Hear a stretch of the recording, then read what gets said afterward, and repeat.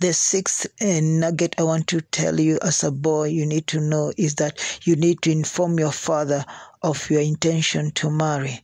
So you don't go to your mother as a boy, you go to the father first of all and inform your father of your intention to marry. For those who don't have fathers, it's okay to go to the mother uh-huh, and inform them of your intention. But it is preferably better if your father is alive, it's better to tell him first, uh-huh, because that when you tell the father, then things will be okay. Mhm. Now, the seventh nugget is that you need to look for best couples. This is whereby these people will help you to uh, to buy things that are required for the wedding, and also advise you, and also uh, work with you uh, all the journey up to the day you say I do. So, best couples, you need to have those best couples that are uh, God fearing. Because if you just get somebody who is drunkard, woe unto you, because they won't give you the proper advice. Mhm. The eighth thing, you need to be mature. Before you think of marriage, are you ready for marriage? Are you longing to have somebody in uh, to marry? Mm. Are you longing to have somebody with you? So you must be mature, eh, and whatever comes out of your mouth should be not be rubbish, but it should be something that is ordained by God. Uh-huh. Should talk maturely. Praise be to God. Praise be to God. You should not talk like a child because already you have decided to marry. Praise be to God.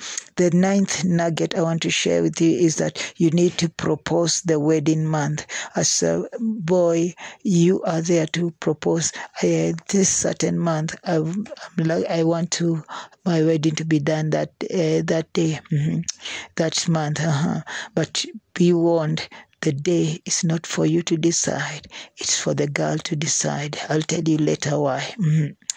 so propose the wedding month. If it is if the girl agrees no problem.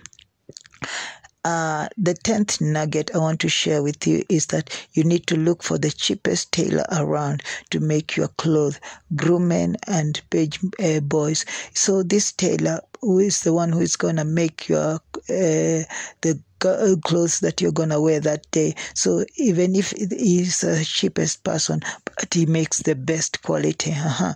You don't look for the cheapest person who makes will ruin the day. Uh-huh. So it is a person that you also is a person who makes you know that he's a good tailor around. Praise be to God. And then the 11th uh, nugget I want to share with you is that you need to work hand in hand with your best man. So when I said you look, in number seven, we said you look for best couples. So the best man is a, is the one you work hand in hand. So it's the one you go with him, look at that tailor. So he'll, he'll direct you to the best tailor and then you're gonna get the best quality. Uh-huh.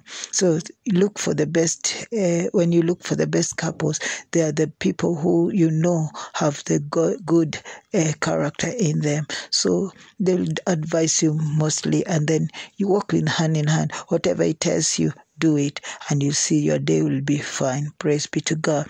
Uh, the 12th nugget i want to share with you is that have some session for counseling with the couples. Uh-huh.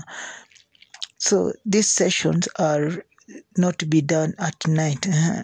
So, with your beloved, you need to arrange sometime, even if it's after service, uh, Sunday service, you go and visit them and then you have some counseling sessions with them. So, this counseling is just to help you to be at par with the, with the events that are going to happen. Uh-huh.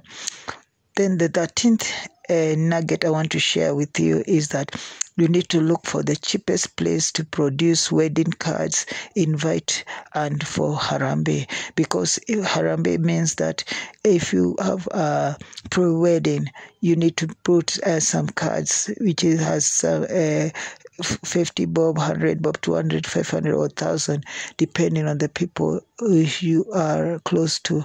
So the the the logo or 50 100 whatever you give them to your friends who in other way will chip in the money and the money you're going to use it to uh, fund your wedding day uh-huh.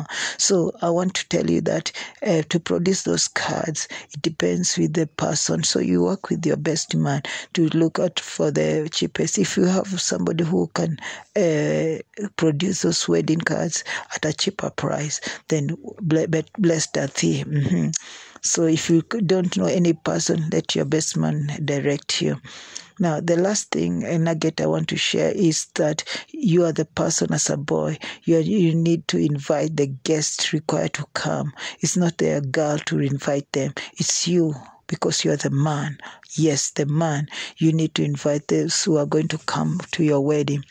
Also, your family you are the one who to, eh, to invite them and those to come as honorable guests. So, in other words, those who are coming as honorable guests to your wedding, you are the one who is going to take the initiative to welcome them.